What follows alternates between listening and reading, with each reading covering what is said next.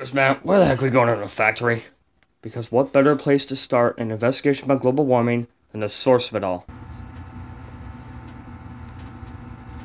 Um, excuse me, sir. What do you want? I'd like to ask you some questions about, uh, Antarctica down here. I got no answer for you. I just want to ask some questions.